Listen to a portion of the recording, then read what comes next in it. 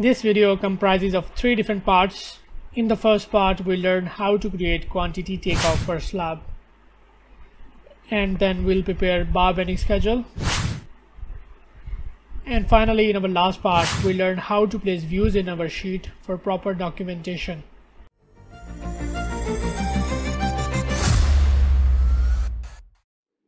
Welcome to Civil Builders. I am Engineer Arsalan. Before continues my today's video, I recommend you to watch my previous video where I create slab assigned reinforcement and do the detailing works. You can find the link at the top right corner. Now let's start today's video with the volume calculation. So let's dive in. Well, to calculate the volume of slab, we have to prepare schedules. So navigate to the view tab and select schedules and quantities from this drop down. And from this dialog box, choose floors and press OK. Then from this window, choose the parameters that you want to be in your table. And use this arrow for shifting the parameters from left to right.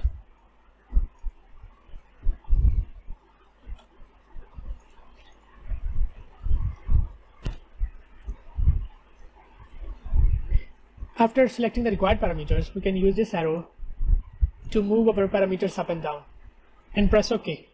Our schedule is now created. We can check its volume from here. And we use this properties panel for doing the modification in our schedule. We can rename this table by simply typing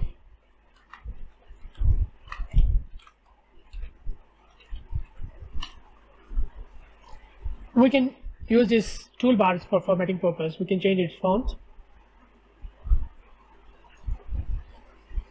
And we can do its shading from here.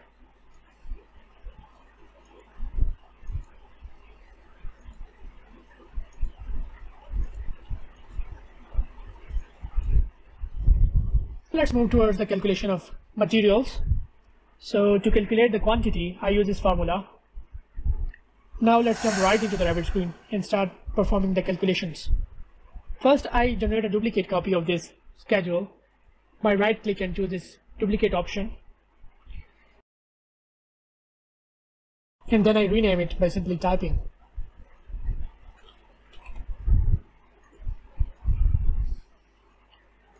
Now to perform the calculations, I have to add more fields to this table. So I choose this field option from the properties panel and from this dialog box, I have to add some more parameters. For material calculation based on mixed design, I have to add ratios of cement, sand, and coarse aggregate as these ratios are not available in this table. So I have to add them by using this add new parameter option. And then I defined its name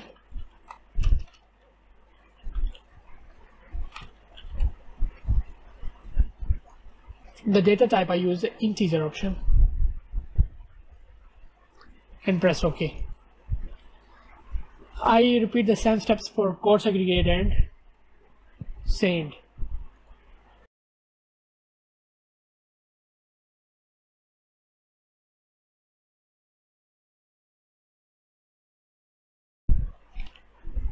To sum up the total ratio, I have to add this calculated parameter option.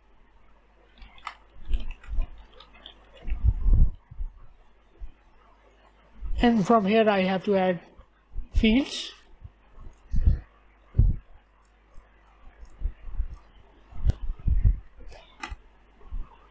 and press OK to execute this calculated formula.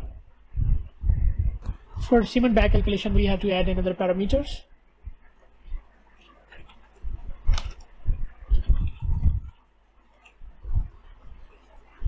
and use the formula and press OK. Similarly, we add two new calculated parameters for calculating the volume of sand and aggregate.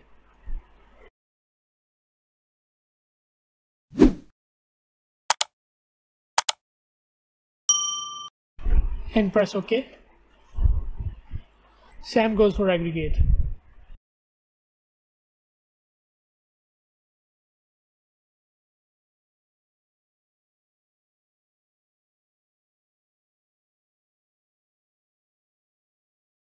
And press OK to find the value.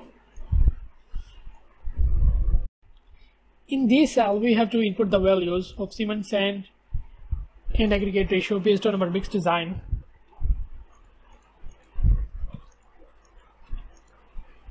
Then Revit will automatically calculate its total ratio, its number of bags, sand, and aggregate volume.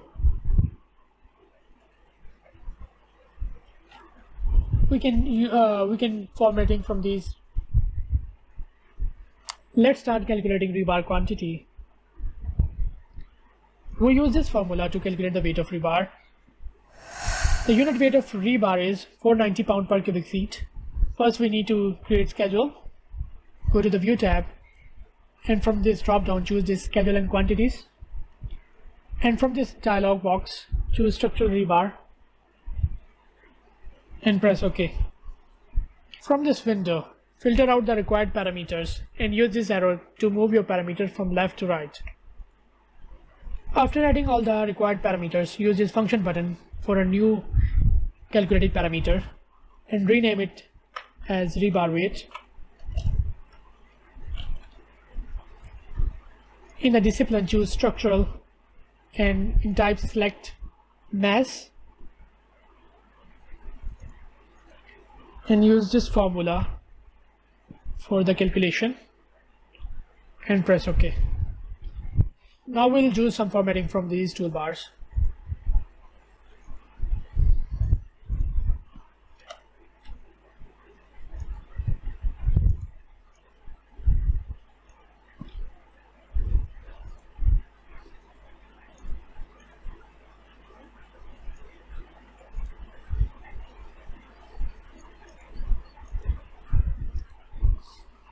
To indicate the sum of total bar length, reinforcement volume, and rebar weight, go to the formatting tab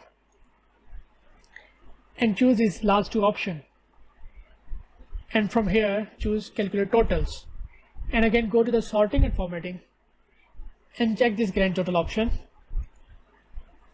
and choose counts and totals and press OK. Now we'll see that we get a total volume and total rebar weight. To separate the bars, go to the sorting and grouping and sort by type and check this header option and press OK. Now to indicate the volumes and weight of each individual items, again go to the sorting and grouping and check this footer option and press OK. We can do more formatting from the appearance tab. We can add colors to our rows and similarly select all of our bars and align them to horizontal center. We can also change our units. Here our weight is calculated in pounds. So to change it into kg, go to the formatting tab and select your rebar weight and from the field format, uncheck this option and select your unit and press OK. Now your weight is in kg. Till now we have performed material calculation and uh, also calculated the volume of slab. Now let's head on to the next section where we draw the bar bending schedule of slab. First I generate a duplicate of this schedule and rename it by simply typing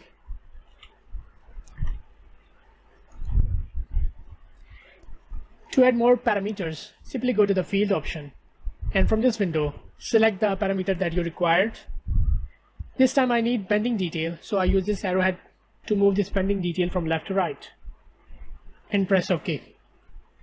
Revit will automatically create bar bending schedule by using this parameter bending detail.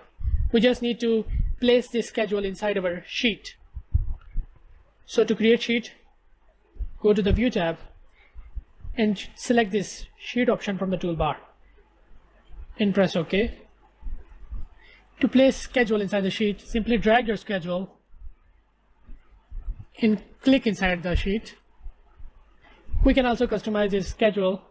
We can change the row height from the properties panel by simply typing the row height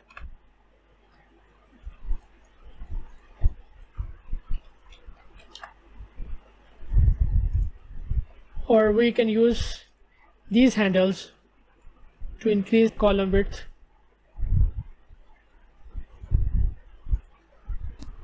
For more customization, made changes on the imported schedule. All the changes that you made in the schedule is automatically reflected in our sheet. For instance, I want to hide some fields, then I go to the formatting tab and from this window, I select the field that I want to hide and check this hidden field option and press OK. Now in our sheet view, only two parameters are visible because we have made all other parameters hidden in schedule. Now let's head on to our final section where we learn how to create sheets and place views in our sheet in a more professional way. So to create sheet, navigate to the view tab and select the sheet from the toolbar. From this dialog box, select the family template and press OK. We can modify the parameters of our sheet from the properties panel. Select your sheet and rename our sheet by simply typing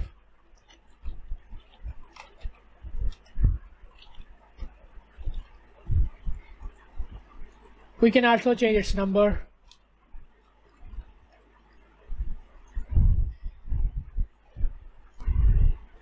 And then drag your views from the project browser and click inside the sheet. Use arrowhead to adjust its position.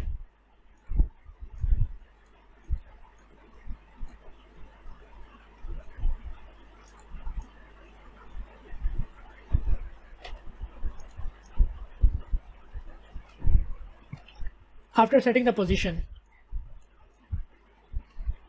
draw the selection and pin all your elements by typing pn. Now we have fixed its position. And we use guide grids to maintain the symmetry between the sheet views. So navigate to the view tab and select this guide grid tool and rename it as floor plan and press OK. Click on these grid lines and reduce its size by using these handles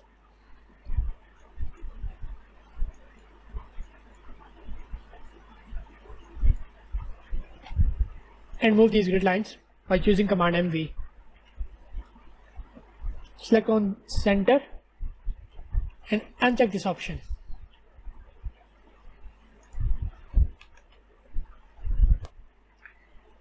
Select these grid lines and lock its position by using the command pn. This guide grid acts as a reference for me when I'm creating new sheets.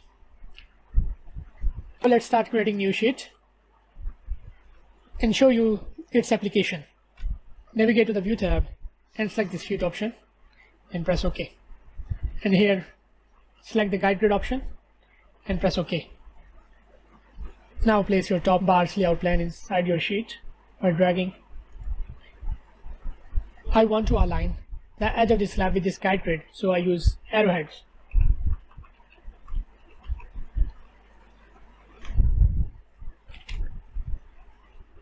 By using the guide grids, we have placed two different views on an identical position. In the next series, we are going to complete this project from the very scratch. See you in the next series. I hope you enjoyed this series. Make sure to like, share and subscribe. Thank you for watching Civil Builders.